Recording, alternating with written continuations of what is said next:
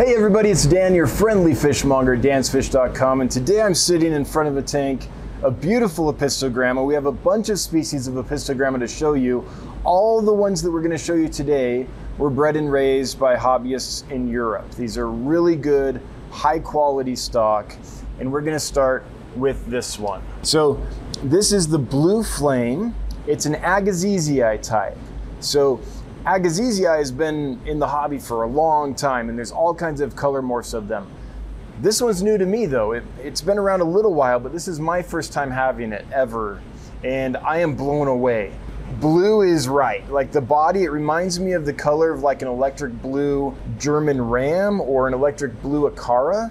Beautiful iridescent blue on the body, but then it still has the red tail and the typical kind of striping pattern on the tail that you get on the Agassizii. I think these guys are just fantastic. These are the ones, of all the fish we got in that shipment, we got a lot of apistos and a bunch of other stuff too. Several thousand fish. This is the one that keeps drawing my eye, and that's why I wanted to start this video here. Now, I looked into these. I wanted to get a sense of what their life is like in the wild. Now, these are many generations from the wild, just like a Chihuahua is many generations away from a wolf. I think it's helpful to kind of visit the wild occasionally to get back in touch with where the fish comes from and what it needs. And what I was interested in is diet. And I came across a study that looked at the stomach contents of large numbers of Apistogramma agassizii. I looked at them in the forest, on the margin of the forest, in the grasslands, and in pastures once the land had been transitioned to cattle. The study was trying to see the effect of different environments on the diet. What they found is amalgamating the diets of all of those different locations, 58.89% of the diet was insect fragments, meaning they're eating insects. And when you open the stomach, you see little fragments because they've been chewed up. So they're eating a lot of insects. And then the second one, 37.95%, is aquatic larvae of flies. So that means 96.84% of the diet of Apistogramma agassizii in the wild is either insects or insect larvae. Now there's another apisto we have in, let's go look at that, and they have a different diet in the wild. So let's go look at those. So this next species, this is Apistogramma erythrura, not to be confused with urethra, which is what it sounds a lot like. Urethra means red tail, I believe. And these in the wild eat mostly crustaceans, little tiny crustaceans that look kind of like Daphnia, pond crustaceans basically. These come from Bolivia, and there's a picture of their habitat and a description of where they were collected, and it's basically a really slow flowing part of the river. It's basically a lake, really shallow, and choked with aquatic vegetation, lots of plants everywhere. And these guys are just picking all these little crustaceans off of the plants. Um, I took some notes here. The temperature range in their natural habitat was 77 to 87 degrees.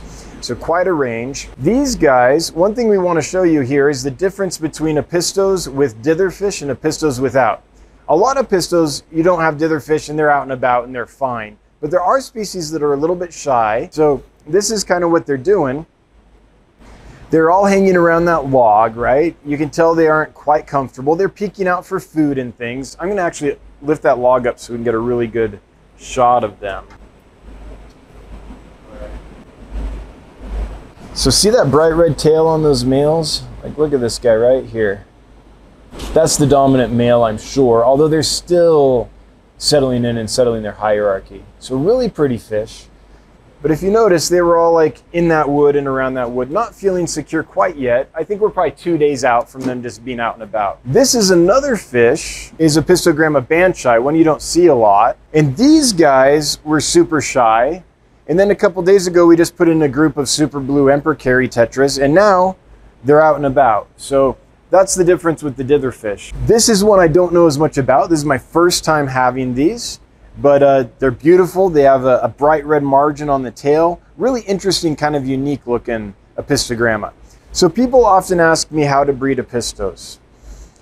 I think a setup like this is how I would do it. I wouldn't have all the tetras in there, but if you have two pairs of Apistos and you have a setup like this, then what's going to happen if they're a pair bonding species is one pair will pick this side with all the wood and hardscape and caves, Another pair will pick this side and they'll nest in there and they'll create their territories in there. And then in this middle, we just have some, some soft like plant material to kind of divide the territories. And what's gonna happen is this pair will constantly go to the middle about here where it's open and flare to that pair, which will also come over and they'll kind of go back and forth. But they'll have their own distinct territories, so they'll be able to spawn successfully and they'll kind of stay out of each other's business. At, at, the border here, there'll be a lot of back and forth and a lot of defending, but in the actual territory itself, it'll be more or less secure. What happens then is the pair bond stays really strong. Wow, look how pretty she is. Look at that female above my finger. She is fired up and ready to spawn. Look at her. So she's getting that bright yellow gold coloration that's typical of an Apisto female, but retaining her black stripes. That is beautiful. That's one of the prettiest female Apistos I've ever seen. Holy cow. And then the males, as you can see, are, are, I don't know, they remind me a little bit of a Panduro in that they have that red margin on the rounded caudal fin. Um, but I, I, love these Baenschi. First time I've ever had them. Unique Apisto and looking awesome. But anyway, I've described this setup a lot of times in live streams. I often get the question, how would you set up a tank for Apistos to breed them? And I've described it many times, but we set this up so we could actually show you. This is how we would do it.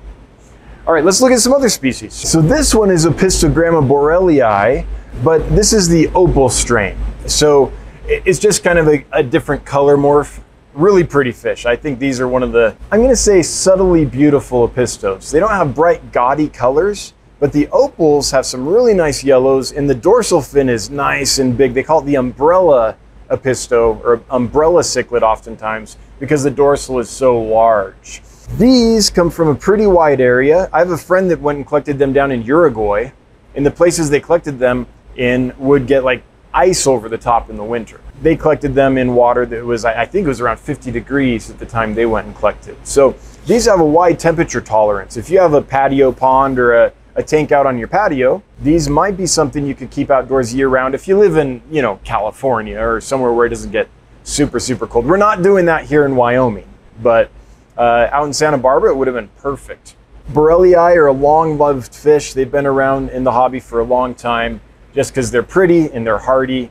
And uh, again, they can take a wide range of temperatures. Great fish for a beginner if you're starting Apistos.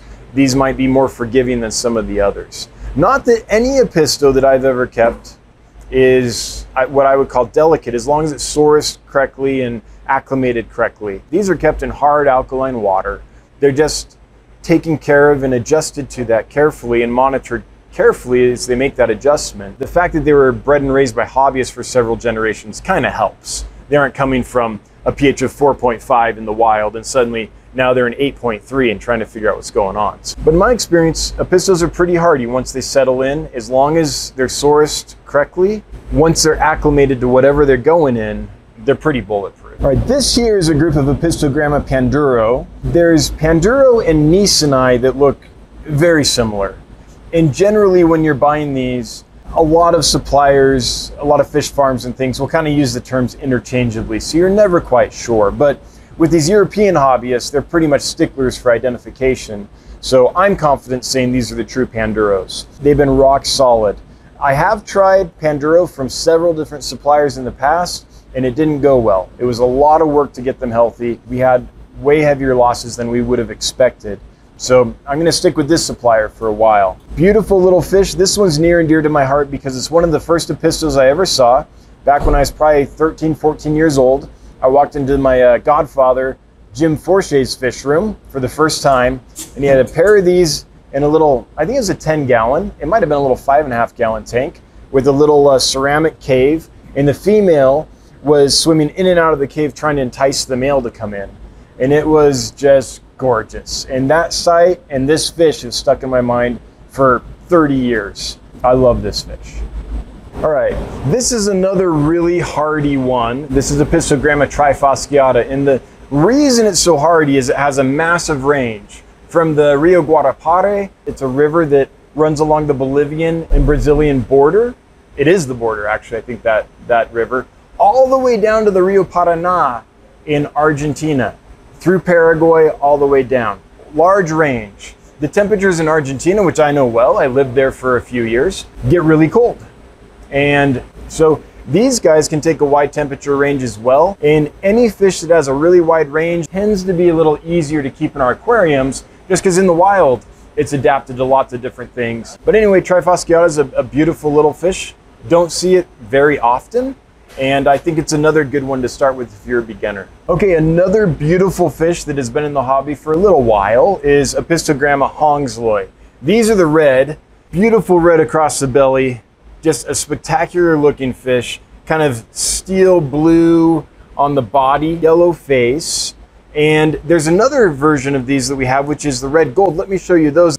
These came in a little bigger. Basically the same thing, but the body color on these has a little more gold to it. This is my first time having these. We've only had them for about a week and a half, but I do see more gold on these than those uh, just reds there. So I can see the difference. Anyway, beautiful fish. Uh, I like all the versions of the Hongsloi. It's just a really, really stunning Apisto. And then back to the one that we missed over here. This is the Macmasteri. Oh, I should be showing this. This is where we mark losses. So I'm happy to say no losses on these guys. Uh, they came in in really good shape. The Hongsloi here, looking good. Just curious. Yeah, nothing on the reds. So we did lose a couple of some species, but barely any. Like this supplier does a good job and they, they ship ethically as well. They don't overpack the fish. But this has been a favorite for a little while now, for a few months. This is the Macmasteri. This is the red gold version. So it's got the bright gold body and the red shoulder. It's just a really neat mix of colors. We've uh, had several reports from customers that they're already spawning for them. So it appears they're a pretty easy one to spawn and raise. So if you want to get fingers wet with spawning Apistos, this is the one we get the most spawning reports on from our customers. So appears to be a good one to start with. And then I think we've got one more to end on. Let's take you over here and show you this fish. Here's a fish that most Apisto keepers start with. This is Apistogramma cacatuoides. Very common in the hobby, been around for a while. Lots of different color variants have been bred for this one. This is the double red. So it's got red in at least two fins, the dorsal fin and the caudal fin, tail fin. I always say caudal. It's a $5 word for tail. In this batch, doing fantastic, no losses. So they're thriving for us. I think they'll thrive for you. Again, all these Apistos that we're showing you were hobbyists bred and raised in Europe. So people that do a good job and have consistently done a good job for many decades and, and get us nice fish that are shipped in a humane manner. So I think it's a great source for us. And uh, hopefully you'll think so too if you get any at dansfish.com hint, hint. Anyway, I want to take a moment to thank everybody that supports us. If you're a customer or someone that's active on the YouTube channel or spread the word about what we're doing here at Dan's Fish to kind of change the narrative and improve the aquarium fish industry. We're very grateful. Thank you. We'll see you next time. Bye bye.